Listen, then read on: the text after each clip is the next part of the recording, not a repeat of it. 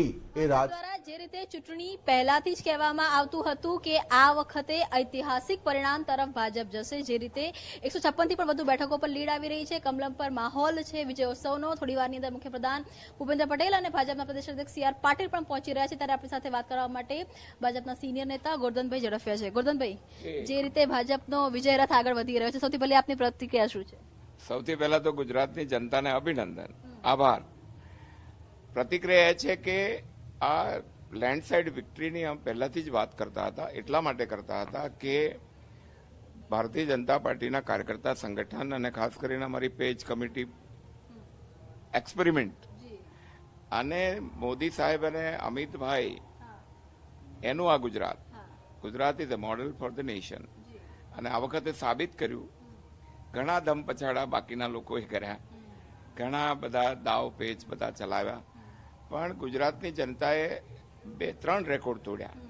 એક તો અત્યાર સુધીની સૌથી victory after nineteen sixty Gujarat રાજ્ય બન્યા પછી સૌથી એક પાર્ટીને વધુમાં વધુ લીડ આવે તો ધીસ ટાઈમ બીજો એક રેકોર્ડ તૂટે છે કે દેશમાં કોઈ એક પાર્ટીની સરકાર એક રાજ્યમાં સતત લાંબા સમય સુધી તો અમે સામ્યવાદીઓનો પશ્ચિમ બંગાળનો રેકોર્ડ પણ આજે તોડ્યો.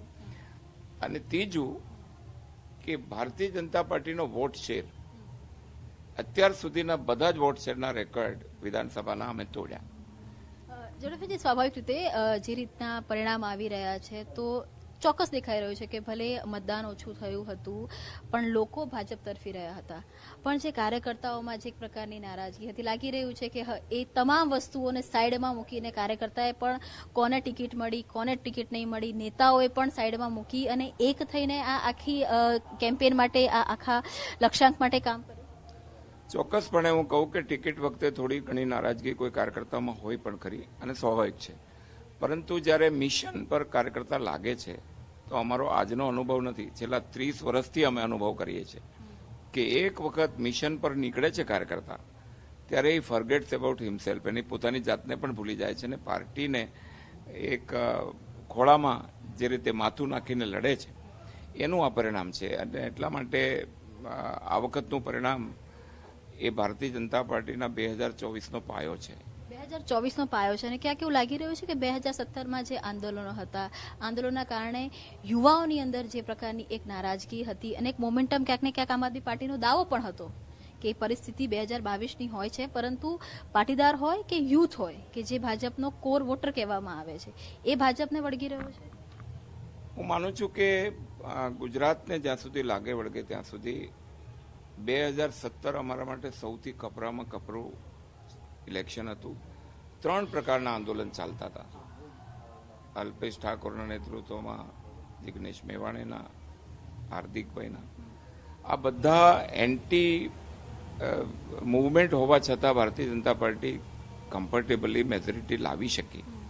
અને જ્યારે આજની તારીખમાં એવું કોઈ વાતાવરણ નહોતું ઇટ વોઝ પોઝિટિવ અને ખાસ કરીને મોદી સાહેબના નેતૃત્વમાં કેન્દ્રની આઠ વર્ષની સરકાર, એમાં જે રોલ ભજવો, ખાસ કરીને મફત અનાજ બે વર્ષ સુધી જે પ્રજાને મળ્યું લોકો રોડના ખાડા યાદ કરાવતા હતા. મેં કીધું જે વ્યક્તિ પ્રજાના એસી કરોડના પેટના ખાડા પૂરે એ આ કોંગ્રેસવાળાના આમ આદમીવાળા રોડના ખાડા બતાવતા હતા એ ખાડા નહીં પૂરે. અને ભરોસો મૂક્યો. અને એટલે ગુજરાતમાં ભૂપેન્દ્રભાઈના નેતૃત્વમાં પણ જે રીતે પાટીલજી અને ભૂપેન્દ્રભાઈની ટીમે એક જેને કહેવાય ને યુનાઇટેડલી વી ફોટ અત્યારે બી જે પરિણામો આવી રહ્યા છે લીડમાં જેમ ભાજપ આગળ ચાલી રહી છે આમ આદમી પાર્ટીની પણ છ સાત બેઠકો જોવા મળી રહી છે. તમે સાંજ સુધીમાં પિક્ચર ક્લિયર થાય ત્યારે શું પિક્ચર જુઓ? હું પિક્ચર એક જોઉં છું કે રેકર્ડ તો તૂટી રહ્યો છે એકસો ઓગણપચાસનો. એ તો it is written the wall દિવાલે લખેલું સત્ય છે. રહી વાત આમ આદમી પાર્ટી અને કોંગ્રેસના જે અત્યારે આંકડા દેખાય છે એ આંકડામાં પણ ઘટાડો થશે. અને ભારતીય જનતા પાર્ટીની લેન્ડસ્લાઇડ વિક્ટરી જોવા મળશે. નવી પાર્ટી આવવાના કારણે બધા એવું કહેતા હતા. અને એ તો દાવો કરતા હતા અમારી સરકાર બનશે. એક તો લેટરમાં લખીને આપ્યું કેજરીવાલજીએ કે અમારી સરકાર આટલી સીટો બને. કોંગ્રેસે પણ કીધું અમારી એકસો પચીસ આવે છે. પણ પ્રજા વચ્ચેનો તંતુ એમનો તૂટી ગયો. કોંગ્રેસે આટલા વર્ષોમાં જે પ્રજાની વેદના સંવેદના સાથેનો એમનો નાતો એ તૂટી ગયો. અને કોંગ્રેસ ડિસમેન્ટલ થઈ ગઈ ટુકડામાં વેચાઈ ગઈ.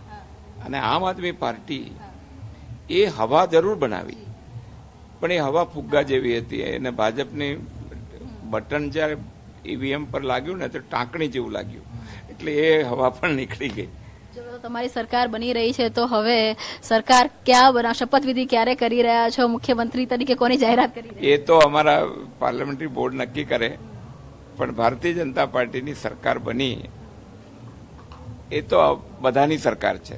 અને હવે હું માનું છું, અમારા આખા ગુજરાતના જેણે મત આપ્યા હોય કે મત ના આપ્યા હોય અમને આ ઝાડને ખાતર પાણી આપીને ફળ લગાવ્યા છે, એ ફળ પ્રજા સુધી પહોંચાડવાની નૈતિક જવાબદારી અમે સ્વીકાર કરીએ છીએ. ધન્યવાદ. સાથે વાત કરવા માટે આ હતા ભાજપના સિનિયર નેતા ગોરધનભાઈ ઝડપિયા. ખૂબ સ્પષ્ટતાથી કહી રહ્યા છે કે આ જ પરિણામો માટેનું જે લક્ષ્યાંક હતું, એ ખૂબ પહેલાથી નક્કી કરવામાં આવ્યું હતું. કાર્યકર્તા હતા કે નેતા હતા, તમામે એક થઈને કામ કર્યું છે. એટલે આ જે હિસ્ટોરિકલ વિક્ટરી છે, તે મળી છે. તો ભાજપ એક ઐતિહાસિક જીત તરફ એકસો ઓગણપચાસનો રેકોર્ડ માધવસિંહ સોલંકીનો તોડ છે. તેવું સ્પષ્ટપણે ગોલ્ડન ઝડપિયાએ કહ્યું છે. અને ખાસ એ પણ વાત કરી કે કોંગ્રેસ વિશે તેમણે વાત કરી કે કોંગ્રેસ ભાગલામાં હતી તૂટ- તૂટેલી હતી અને માટે એનો સીધો ફાયદો. હરીનભાઈ ક્યાંક ને ક્યાંક આપ પક્ષને મળે એવું લાગે છે? ના ચોક્કસપણે જે કોંગ્રેસે ટીમ કોંગ્રેસ તરીકે આવું કામ કર્યું છે એના કારણે આપણે ઘણા બધા ઇન્સિડન્ટ